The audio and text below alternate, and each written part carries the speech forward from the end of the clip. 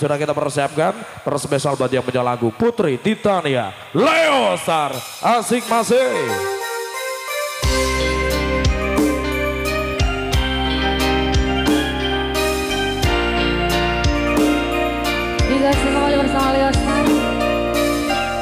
Ada sesi yang harap cintamu. Japanese. Manhattan SHD